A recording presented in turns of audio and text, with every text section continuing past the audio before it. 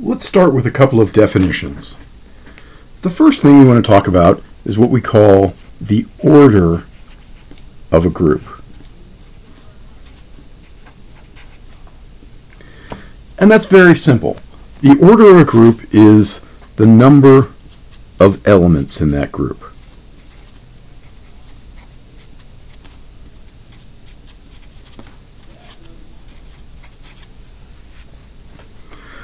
So, just going through a few simple little examples. The very first group we looked at was the symmetries of the square. We called that the dihedral group. And in fact, we even snuck in a little bit of preview of this. We called that the dihedral group of order 8. There were four reflections, four rotations, total of eight elements.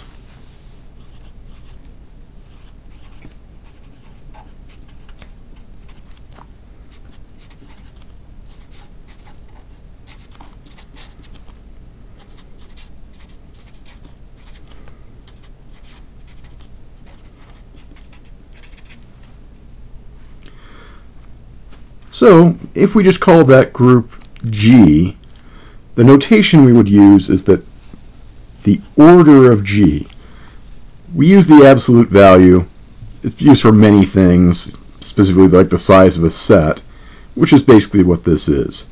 Eight elements in the group, the order of the group is equal to 8.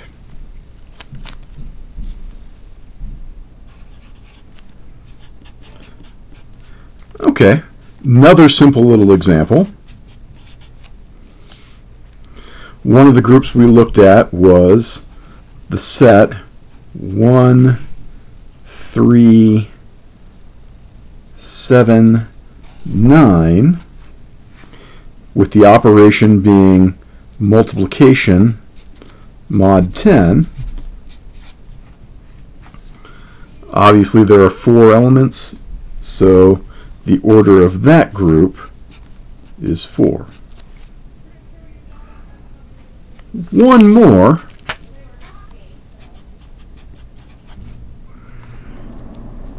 If we look at the integers under addition,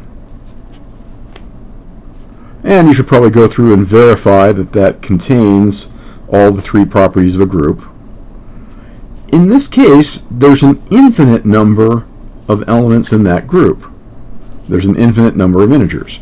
So we're going to go ahead and do the same thing. The order of that group is infinity. So that's the order of a group.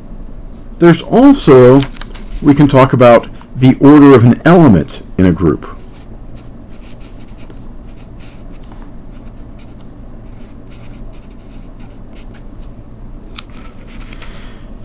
And what the order of the element is, is it's the lowest number, lowest positive integer,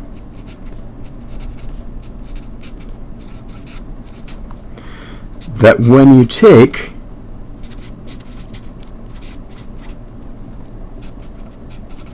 the element to that power,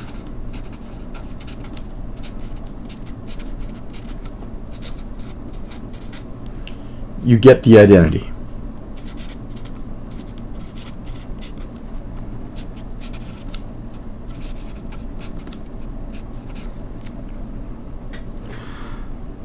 So, let's actually just do a few examples from each of these groups that we mentioned here. Let's start with that group of square symmetries.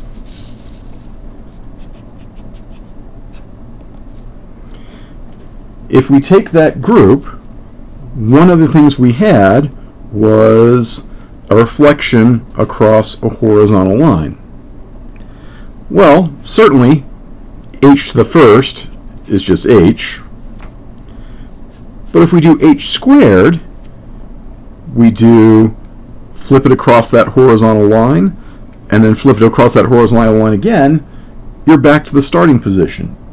You have the identity which in that case was rotation by zero degrees. On the other hand, a rotation by 90, to the first is a rotation by 90, a rotation by 90 to the second is a rotation by 180. A rotation by 90 to the third is a rotation by 270. A rotation by 90 to the fourth gives us back to that rotation by zero.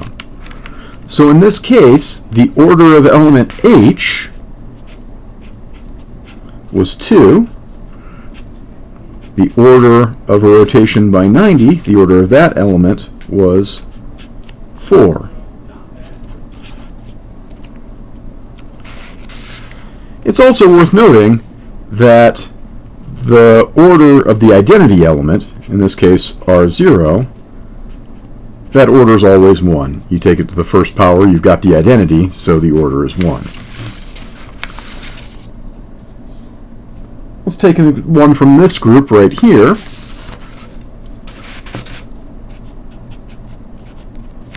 If I take the element 7, 7 to the first is 7, 7 squared is 49, which is 9.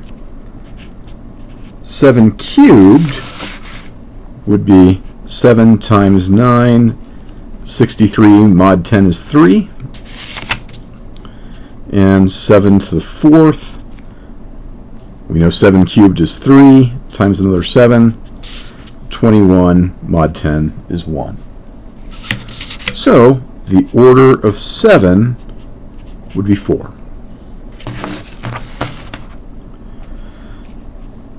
Now the last example, we were looking at the integers under addition. But if I take 2, I don't care how many times I'm going to add 2 to that, I'm always going to get bigger and bigger numbers. There's no way I'm ever going to come back to a 0.